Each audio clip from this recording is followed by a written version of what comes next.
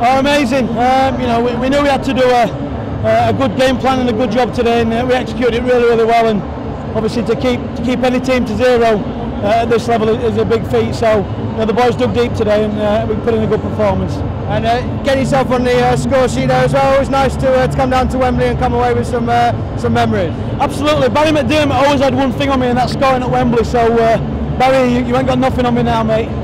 Well, I don't think you're ever going to get that here. There's always going to be things you can work on and improve on. We probably made a few too many mistakes, but that's us this year. We, we, we're throwing the ball about. The way the second half made the ball a bit greasy, but uh, scored some fantastic tries. And uh, yeah, from 1 to 17, even the boys that didn't play today have been brilliant all year. And uh, special mention for, for Kev, JP and Kylie. Their, their last game's down here, so it's great to send the boys off with, with that winning memory. Yeah, they're the special players out. They've been huge, huge players for, for this team for a number of years, and we'll, we'll really miss them. And it's fitting that they go out this way; they really deserve it. And just quickly on on uh, Tom Briscoe, five tries and a foul. That's some effort. It's a great effort. It, uh, he's going to take lead right the best man till now, so as long as he doesn't crash a Ferrari, we'll be all right.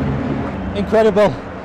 Just to play a, a stadium like this is first and foremost an incredible achievement, but to score five uh, is just unheard of and so overwhelmed that I've managed to, to achieve that and uh, been named the Lance-Todd man of the match as well. So an illustrious group of players that you joined there. Yeah, to be honest, at the start of the game I would have never put that down as a goal, but what a feeling, it's just incredible. Words can't describe how, how happy I feel right now. Um, you know, I'm just happy we got the win, got the job done. Last one at Wembley is just, just special, very special. Just, just on that, it's your, your last chance this year to, uh, to, to come over wins well. So how does that feel to, to leave this place on a oh, It's unbelievable way, you know, like even when we were up like 30, 30 something odd points, 32 points, you know, there's still like 20 minutes to go, you know, but you know, we're just like, you're on the edge of your feet, you're just thinking, oh, come on, man, let's get the job done, and we did it.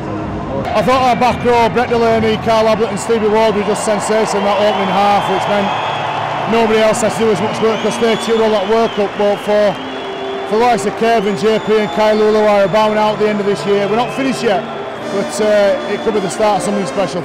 And uh, is this the start of a, a, new generation, new dynasty at Leeds, do you think? Well, that's the plan. That's the plan. These things aren't built overnight, and they're not. Uh, it's not luck. There's lots of planning and lots of strategy goes into it. So let's hope. But uh, we'll concentrate on today. I thought Hull KR have had a fantastic journey together. You know that's what the Challenge Cup's all about. They need a lot of credit there, Hull KR. Everything went our way today, and that's a great scoreline for us. But uh, yeah, we've got a bit to go this season, and we're really just pleased. But and we're going to enjoy today. You know, it's a great place to play. Uh, but I, I, just think the emotion, the day, um, you know, the heat at pitch level uh, just has an effect on you. And, and uh, yeah, like I said, I was cramping, so um, you know, thankfully it was nice. You know, Tommy Briscoe gets all the headlines and and uh, justifiably some of them tries to score were unreal. So, uh, but thought it was a good team performance and delighted with the win.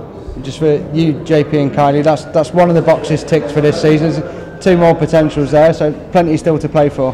Very much so. I, I think the Challenge Cup last year uh, derailed that season. You know, when you invested so much in it over the years, um, you know, it hurt us last year, unfortunately. But um, I think we're in a better place to deal with it this year, having gone through that experience last time, and um, you know, hopefully, um, you know, there's there's still some big games ahead for us.